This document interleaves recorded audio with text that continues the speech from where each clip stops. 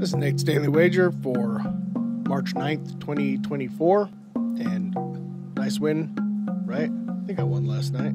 Yeah, I did. Did I? Hold on. Let me go check. Yeah, yeah, yeah. Boys came home, took it to the Hornets. Wizards went out there, won by double digits. More than I thought they would do. So, uh, yeah, we did win. All right. So, tonight, that's good. We get one under our belt tonight. I'm looking at this hockey way out west. Now, I'm looking at this Vancouver Winnipeg game. So we got two Canadian teams going at it. Both teams, two really good goalies. Now, both teams like to score. I, I understand that from the numbers that I'm looking at. I watch the hockey, I look at the numbers. Uh, you know, that low level analytics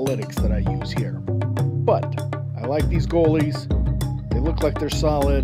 They both give up less than three a, a, game. Total sitting at five and a half. I think this game is going to be three to two. Not sure which team's getting three. Not sure which team's getting two. But I think it's going to be three to two. That's under five and a half. That's where I'm putting my money.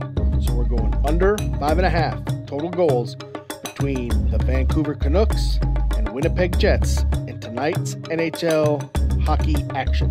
Say anything better than that? Pound it. That's my pick. I'm sticking to it.